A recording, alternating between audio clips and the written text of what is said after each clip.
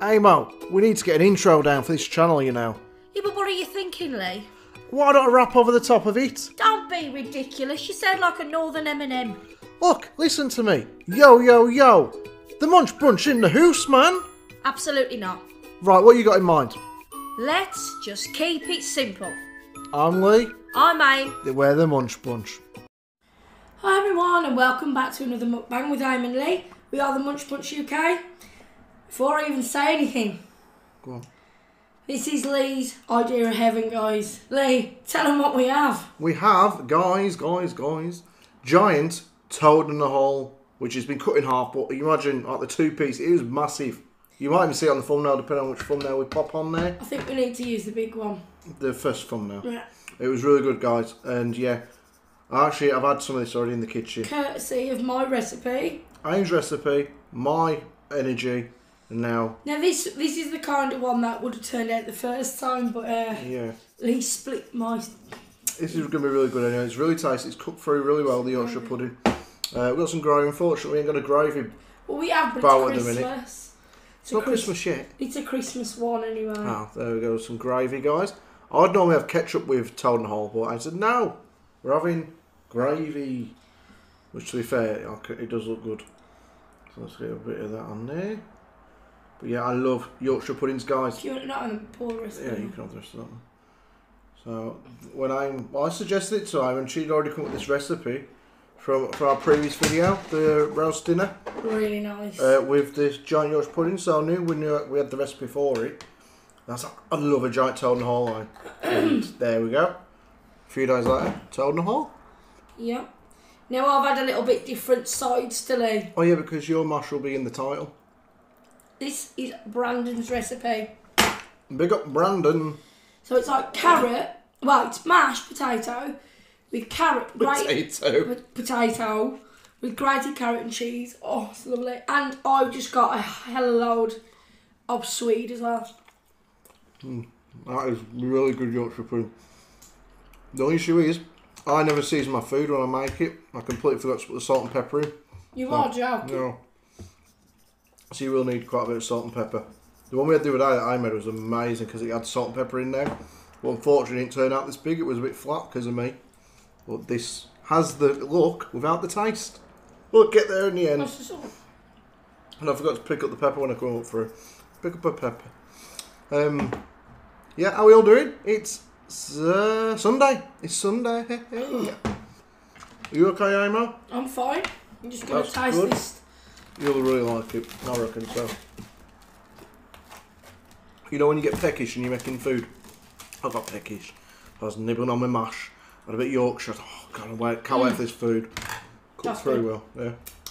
I was going to take it out early because I didn't check the middle. And I am come through, thankfully, to go to see him. She's like, give him another 20 minutes. it's a good job I did. It really wasn't cooked. It looked like it was cooked, but when you actually open it up a little bit, it wasn't cooked in the middle. And now it is. Yeah, That's nice. it is nice. Um, Let me just turn that on silent. so what we've been up to, guys? It's Sunday. We haven't done sod all. Started decorating, ready for our Tia's 18th because it's our 18th. We've got people coming round. Claire, Nat, how you doing, loves? So we're She's tar- just messaging her. so chances. So we're tarting up the house, ready for people coming round. And plus, it needed doing anyway, a little bit odds and sods. Not a lot, just touch ups. Some sausage in here as well, guys. Yeah, it's real good. So I was on Twitter before and just checking out like news and stuff. And I, we, I don't watch um, Dancing with the Stars. That's an American thing. But you'll never guess who is on Dancing with the Stars. I mean, Oh, give me a clue. ooh, okay. So It's a quiz. it's a quiz. We love pop quiz. Okay, pop quiz. Or whatever they say in uh, Speed.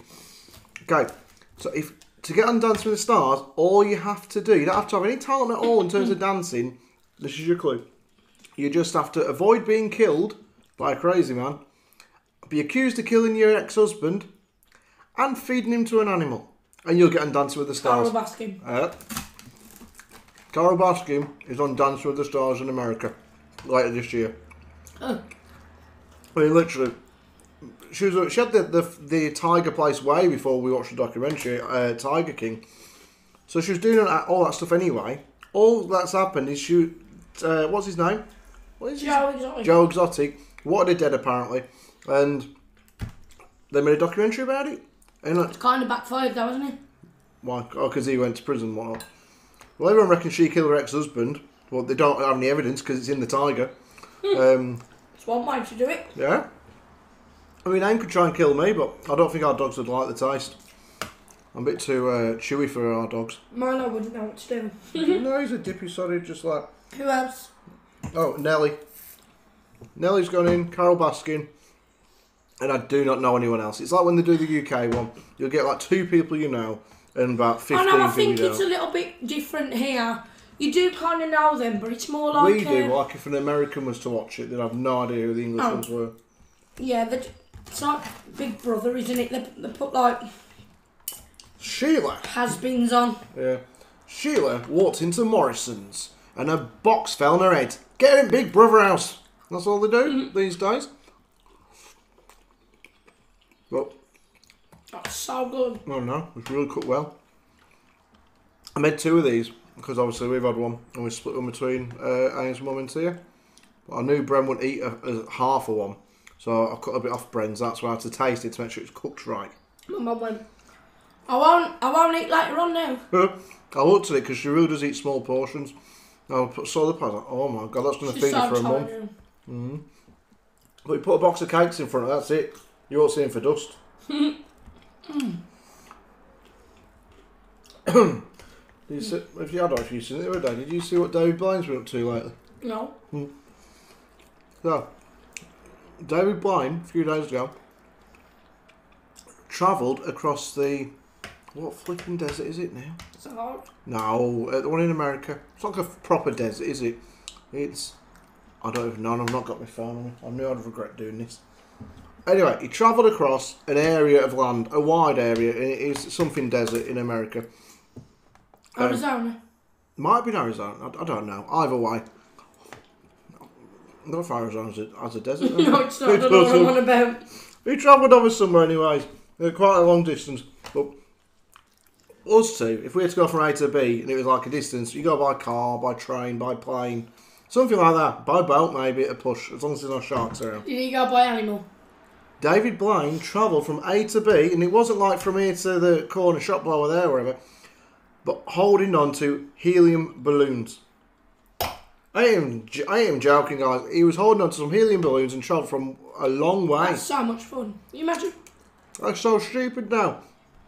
You can just imagine he was a kid, the one as a kid, his mum said, David, put the chainsaw down. Someone will get hurt in a minute. You Yeah. just imagine he's a right little shit. Look what he does, Sal. But why do we need him to do all that? Why can't we just go back to the old days of Paul Daniels, Paul had a pack of magic cards with Debbie McGee, and Nobody in America's gonna know this is surely. trust me, check him out, De- Debbie McGee and Paul Daniels, and they pull a rabbit out of a nap. Okay, admittedly the rabbit was sat there the whole time. She so reminds me of my auntie, We shout all the Debbie time. McGee. Maybe she's your auntie. Maybe she's just pulling a magic trick. This is a lot of Yorkshire pudding, isn't it? It's it? amazing. What is that? Why does he feel the need to show off? Oh yeah, oh no, I'll do next. I'll travel across the desert holding onto a balloon. I hope a pigeon comes on and pops it. As long as he's got a parachute on. So you wouldn't like to be David Blaine then? No, I wouldn't want to be David Bloody Blaine. Locking myself in a box in the sky for like a, a month or whatever it was just to say I did it. What's the point? Oh, hmm. look at Pete down there. He's having another hot dog. He had an hot dog yesterday as well, and the day before. You wouldn't mind if he's, the money he's on? Well, he might be on good money. You need to be to take them sort of chances. I want to be his insurance company. What are you doing this time then, Dave?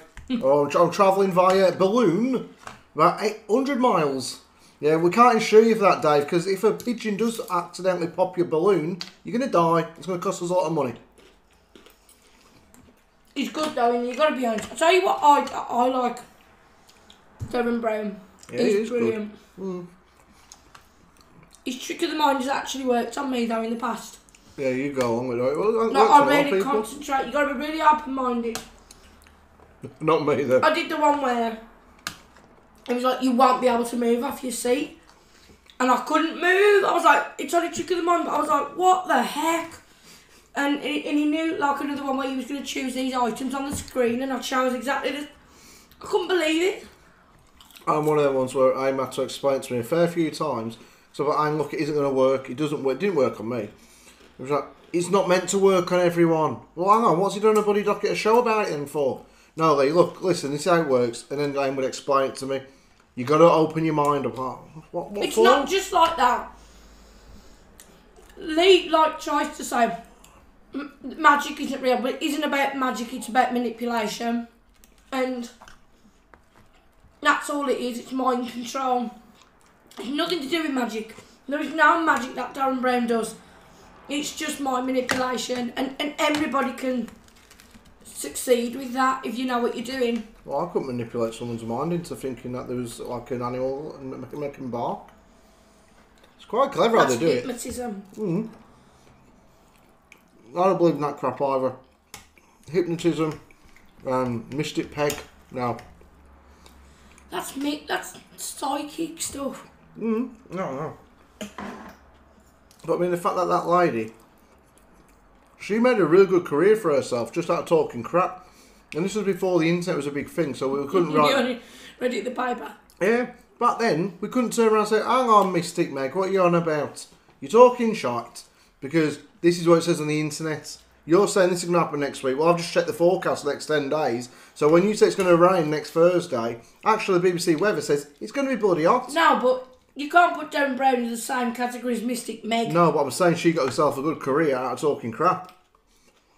We can all do that. I mean, you well, it ain't really a career, but we talk crap. But it is good. And I, I love that. I Sort like the. Derren Brown ones. I watched them a fair few times before I got sat down and said, "All right, let's give it a go." And I You was love like, it now, don't you? "Yeah." There's one I think where I'm sure I got this right. He convinced somebody to go and shoot. It was Shoot stage. yourself or it's. And I'd shoot someone else. And then, oh, like, there's one where like it convinced somebody to jump in front of a bullet for a complete stranger. I think Mm. it was. Like it's just like you're gonna hear this sound, and like they don't even know they're gonna hear it. Like as in, it's just a, like the back of their memory into it, or however they do it. It's in your subconscious mind. It, it could be something like that. Or, some- and then it just, it just. Mm-hmm. You've got to be amazing to be able to do this, like Derren Brown. Yeah. but mind manipulation is a powerful thing. It could get you into serious. Oh yeah, definitely. Dave, give me your bank card whilst you're asleep. And then Dave does it, and then you're, you're very rich, ain't you? As long as Dave's got some money in the bank. Imagine doing it to somebody who ain't got any money in there, and you're like, Christ, I spent four weeks brain training this guy, and he's poor. I should have looked into that first. The, I like it because the Derren Brown ones is basically they do it where he will you apply for it basically like the ones I've seen anyway. You apply on like through his website. Over yes, I want to. I've like my brain fucked with, uh, and then he'll he won't, they won't get back to you. They'll say, "Oh, thank you for the application," or something like that, and then they randomly they'll pick you out. You don't know you've been picked, and just like you'll go into work and something happens and it's them already. They film it. It's already started the show, hasn't Yeah. it? You're just going about your daily routine for a couple of weeks, and little things are triggering in your brain. Yeah, he's already done it. It's really, he's brilliant. He's, he's an actual genius. Mm. And he's got like this little thing. He does like sort of like a, it's like a tick or something. He sort of goes a, a, a lot, doesn't? Oh, It's really strange. It's though it's part of his thing. Mm. I do think you got to have like something not wrong with you, but you got to have like something happen in your life to become like he is. You know, yeah, it's not like Eddie wakes up on a Sunday morning decides to be Derren Brown, is it? A lot of training. I think it's amazing. I love illusionists, all that business. I think it's some of the illusions that these famous ones do. Yeah. Are mind blowing. You're like, there's this thing that me and Lee wanted to go and see. And I said, like, a lot of celebrities have gone to see it. Oh yeah. And it's like, it's, I can't even explain. It's like this event that goes around like theatres. And it's meant to be like the scariest thing you will ever see. And it messes with your, with your mind that much. Like some people have become ill, haven't they? I mm-hmm. think. Like a a live horror show. Like a live theatre show, Well- so you're part of the theatre show. It's not like going to watch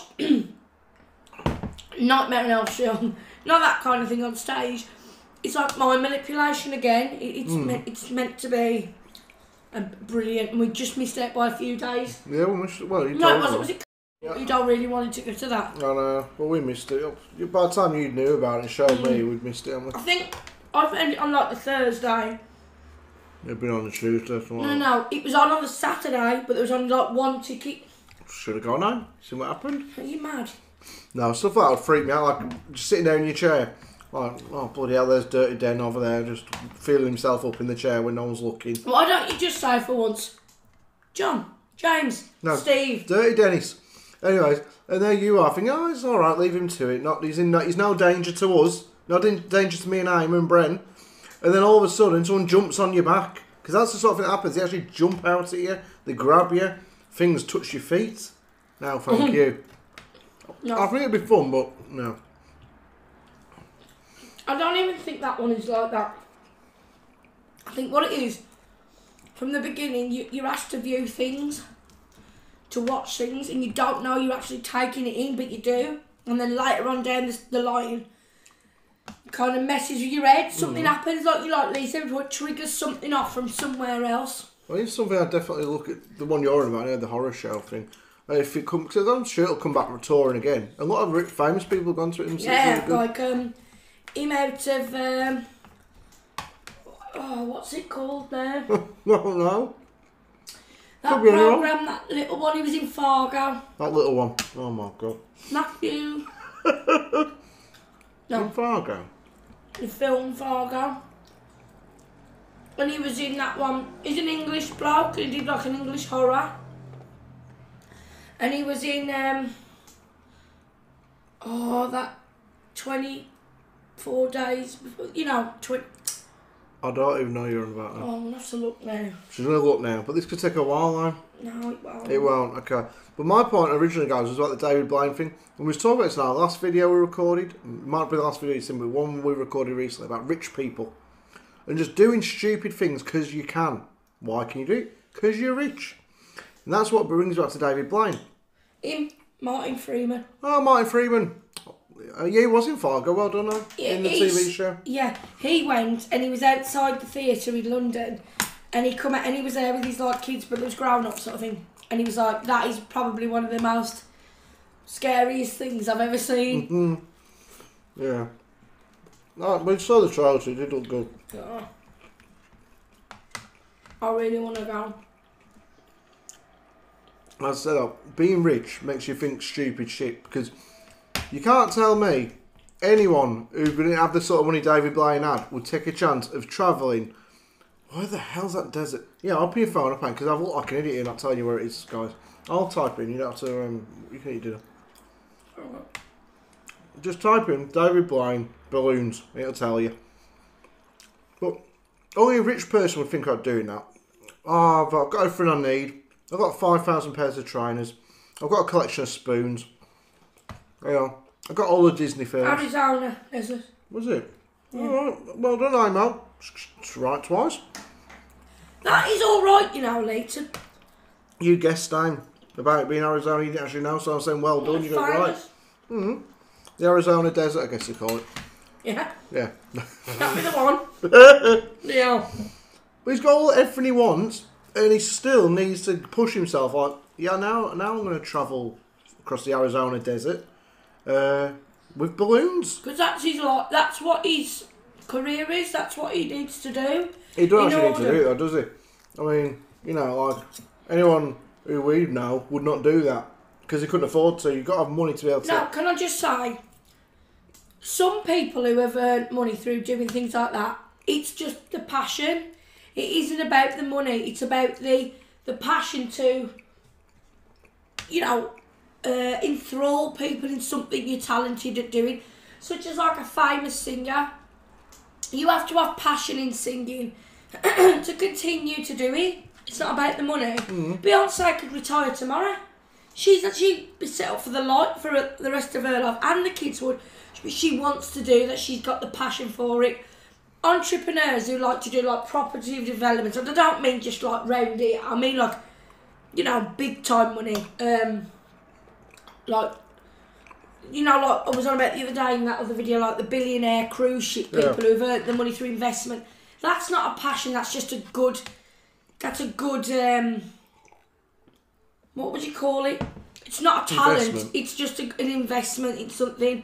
A good investor. It's not actually a talent as such. They know the money. They know the financial, you know, status of things. But you'll find that people like David Blaine want to do it even because they've got so much passion for the subject that they Yeah, do. You know. I got you. But I've knocked a lot of people over the years. Probably some of you have knocked for one reason or another. Whether it's the whatever. You probably, I probably have upset a few people. But I've always knocked like a lot of music artists and stuff like that.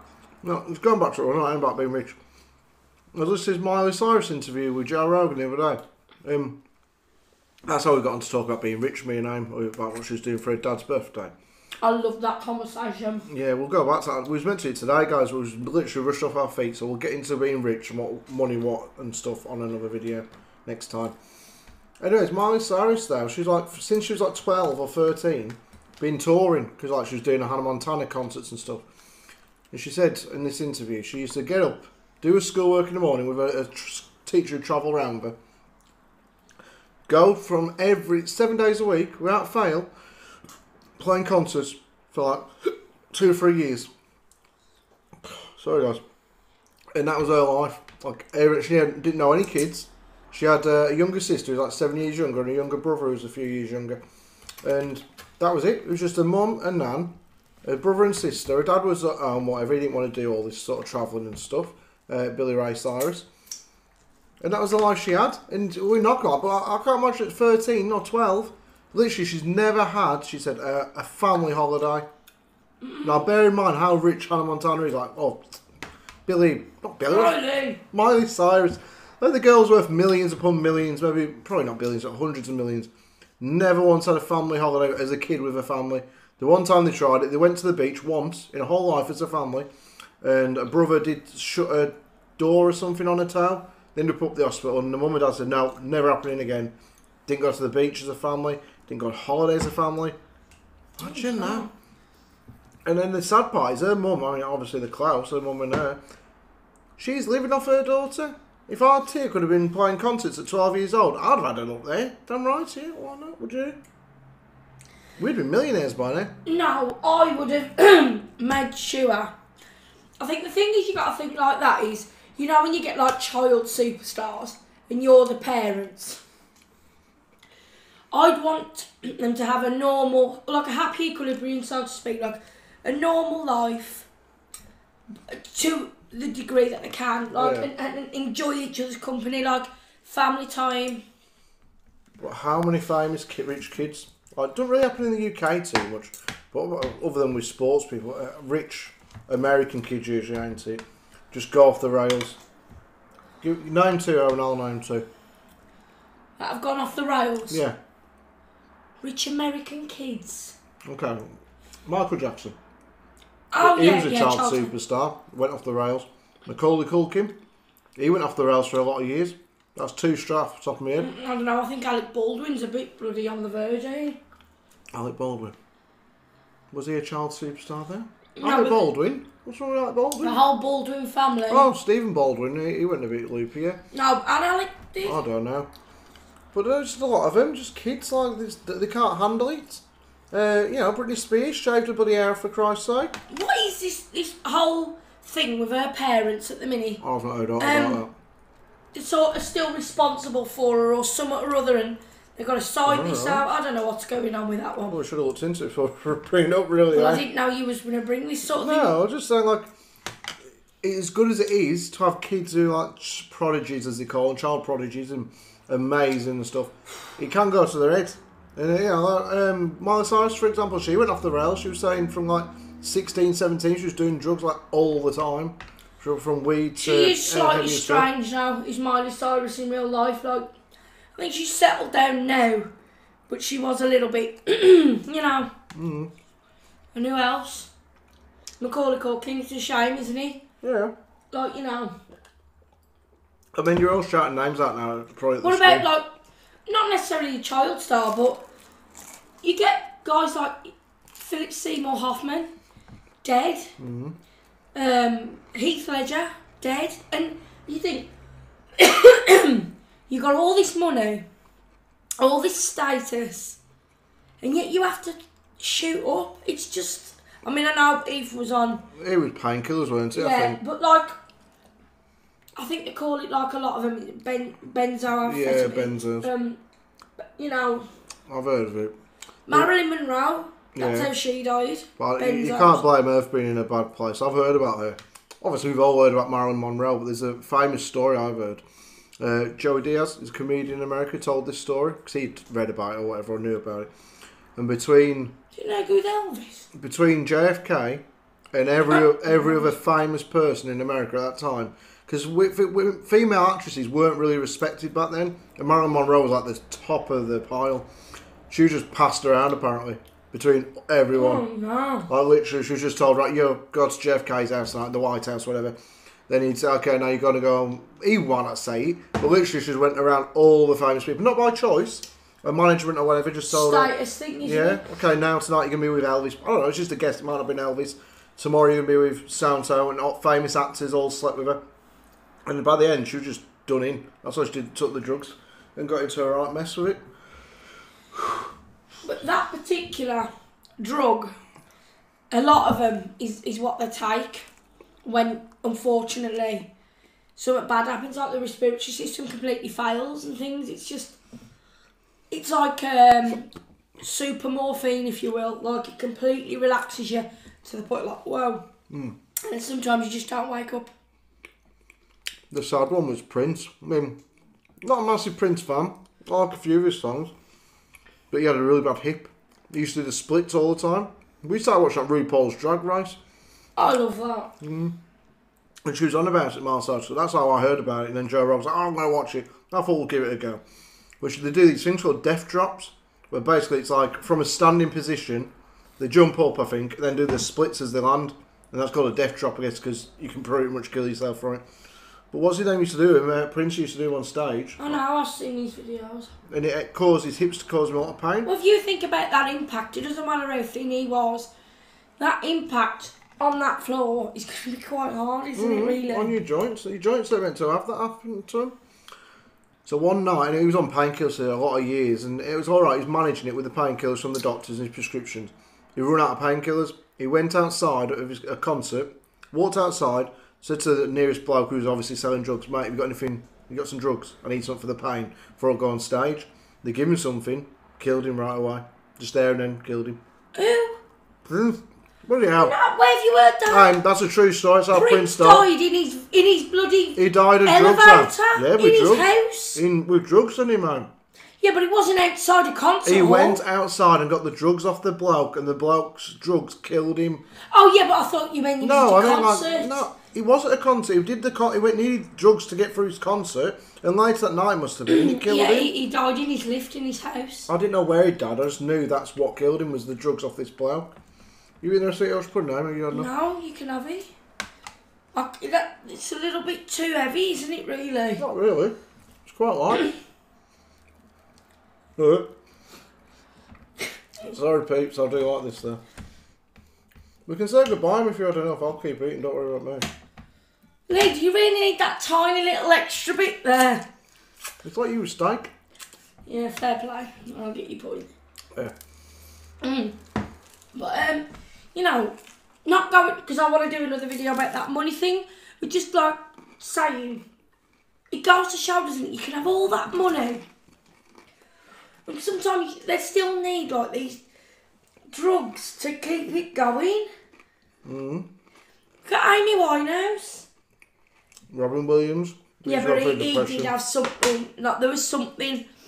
I think it was like a rare form of um, autism.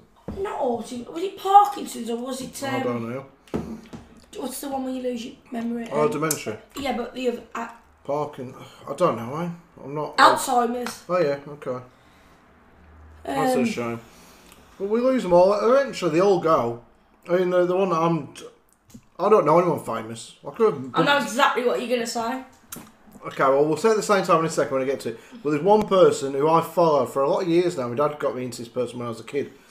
And when he goes, it's actually really sad. They sue people, but one of them is British. Now, After three.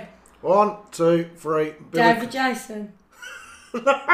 no! Billy Connolly. Billy Connolly for me. but Oh, David Jason for me. yeah, David Jason as well. It is sad to see him aging. If you look at back when we watch him on Only Fools and Horses to now, when you see him, he looks so much older. Yeah, no, Billy Connolly as well. Oh my gosh, Mm-hmm. 100 percent. That'd be. I don't know him, but it'd just be really sad. Yeah, but the thing is, like, you, we've grown up with him as like, Mm-hmm. and, like over here in the UK. Billy Connolly is one of the most. Yeah, well, he lives in He but he's an influential um, comedian, wasn't he, to a lot of other people. And he's won like lifetime achievement awards and Right, things. so, yeah. Same as David Jason, who plays Del Trotter in um, Only Fools and Horses. I love that program. And obviously, you, you see these people as you're growing up. It's not as though you know them, but you feel like you've had some sort of connection with them. Mm. Because at family times on a Saturday, you'd watch something like that together, and it's a bit like Bruce Forsyth, like Yeah. he when he died. A guy over here who used to do like presenting and stuff. It's weird because you think you grew up with somebody, and, and I think a lot in life with your own family, you kind of take people for granted, don't you? Yeah, you do that. You kind of think, no, actually, yo, that's all right because They're you're always going to be there. there, and it's not the case, is it? No, I mean, it was a show because with David Jason, we often watch old Only Fools and Horses. I mean, bear in mind they were made in the eighties, probably before we were born. Some of them, and we'll sit here and laugh at them. And you look watching it, and then you think, oh, it's David Jason, it's Del Trotter whatever. He looks just like he did when watching twenty years ago. So you forget completely when he made that. You're talking best part of nearly forty years ago, about thirty-five years ago. You kind of expect him to still be down the market, don't you? Yeah. And you don't really, and, that, and that's something else I find really like upsetting. You know when you um, you know when you watch a show, and I was only talking to you about this yeah, he before. was. uh, like a film. At the moment, I'm watching uh, Twilight Breaking Dawn Part 2. And I, I watch these quite a lot, the Twilight films, because they're just a feel good thing for me. But I get so enthralled in a film or a programme that I get upset when it's finished. Or I get upset that it's not a real, true story. Like, You actually want one of the dogs, don't you, as a pet? yeah, I do. I'd love one. Like, you know, but the fact of it is, like, you live in, you can live in this fantasy world, and it's not real. But you want it to be real, if you know what I mean. And and also, like, when it comes to people, you sometimes you want these characters to be real. And when you kind of think of Del, you, yeah, you want him to be him, but then mm. you know him as David Jason, who actually. It always gets me when you see a character and they talk a certain accent, but then when they're intro- like what do you call it, interviewed in real life, and they've got another voice, a bit like Nessa out of Gavin and Stacey. She's quite posh, and it kind of ruins it for me. It's just one of them things, Bob. You just get very in depth with things like that. You get very I invest in in everything like that. Like my emotions get invested into the things that I really don't. No, it's a Me- shame. and I think that just comes back to your childhood because Amo here used to watch. Like I never did this. Like I said this to Tia the other day. If I've watched a, as an adult, if I've watched a film twice, then it's very rare. It's more than one film. I watched maybe two films twice, like over and over. If you know what I mean. Aim as a kid would get in a film. Like, I don't know what film it was. Was it Like Cinderella and Cinderella and and stuff? You'd watch it every day. Yeah. I mean, it's like an addiction thing, like Miley Cyrus said. If the, there's not a new, if they're not a new episode of the RuPaul's Drag Race, even if it's three weeks in between, she'll watch the same episode every day until the new one comes on. Like I've got such a like OCD issue. Like I, I wish I didn't. But I'm the same with people. Like I get invested in, not strangers or friends. I mean like family. Like I really, kind of obsessed on on the health and Mm-hmm. on, and and it could be anything. Films. Like if I haven't picked up a book for a long time and then I pick it up, I'll finish. I'll finish the book. You did the other night. You couldn't sleep. Had 150 pages for the night. You know, I just sat there. I was like, right, sod this. I'm gonna just finish the damn book, and I, and I do that. And like when I collect stuff, like if I start collecting things, I get this impulse down, and I'm like, yeah, I want to buy a couple of hundred pounds worth of the stuff. You certainly do, Bill. It does my in. Aim's been a bit sad today, guys, so it's nice to hear her a bit cheerier now. I don't know what was wrong with her. We'll have a chat later on, but I've been down with it before. Sometimes life just does that, doesn't it? Yeah. Anyway, guys, let us know what one thing in life you are addicted to. I don't mean drugs and cigarettes and booze. Is there something in your life you really love to the point where you just got to keep doing it or buying it? Like a guilty pleasure type of thing. Yeah, what's your collection? What do you like to collect? Me, my gran collected magnets for a long time. Uh, and she had like a doll. I mean, in her 60s, she got a doll's house. When I was a kid, this was when my gran was in her 60s. She spent hundreds on this thing. I ain't kidding, it's at my grandma's now. He's, if you like Doll's House, he's, he's amazing. I didn't, but I had to go around and show, oh, Leigh, look, I bought this little teapot, it's like that big. How much, Gran? I was like a kid. Oh, it's only £30. oh, yeah, oh, okay, only 30 quid. Could have bought me a game, none for me Xbox or whatever. Yeah, but Leigh must have spent hundreds and hundreds of pounds on DVDs. At one point, but then I completely just switched off from it. Like I used to be money obsessed, like other people are. Like, oh, I've got to buy this, got to buy, it, got to buy. Oh, whatever. Don't need it, so I don't bother with it anymore. Don't need anything. I'm. A, I don't collect anything now. Just um. Nope, don't collect anything. No, like there's certain apps and things about with films. Oh yeah. You don't bother buying the DVDs, At all. I've probably bought maybe three DVDs in the last like five years, whereas before it was like three DVDs in a couple of days. We used to go to Blockbuster on a Saturday, and we go in. And that was like if you weren't going out, we go, oh yeah, do you want to watch like a film on Saturday evening? And then he'd go into Blockbuster and it'd spend like I don't know 20, 30 quid. That's nothing, I'm bloody hell. I Yeah, used to go but- to CeX and spend like eighty quid. Yeah, but this was like when DVDs wasn't accessible like that. Mm-hmm. This is like eighteen ninety nine for like the Avengers or whatever you might just hypothetically. And I was like, what the hell? It's all changed now. Anyway, guys, thank you for watching. yes, I hope you've enjoyed this. Our amazing, huge toad in the hole. That was just too huge. Too He's- huge he got through it. I imagine, you know why I probably didn't finish hers? Because we got some Ferrero Rocher yesterday from Mo, Super Mo. And I knew that we had another 20 minutes to the dinner so she cracked open the Ferrero Rocher and made a bit of a dent in it. Yeah, I do like Ferrero Rocher. Oh, there was four gone before, now there's five gone. D- No word of a lie. That's my thing. It's Ferrero Yeah, but they probably filled you up so you eat your bloody veg shame. Oh, I'm not throwing that sweet away. Right then. Anyway, guys, thank you again for watching. Yeah. It's quite late. We didn't get recorded until half six, so we are rushing a little bit now, I'm afraid. So remember to be kind, remember to be nice, comment, share, like, and subscribe, and don't forget to turn on the notification bell so you don't miss any future videos. Thank you again. Hit us up with a thumbs up and down below in the comments. Later. Thanks, guys. Bye bye. Bye.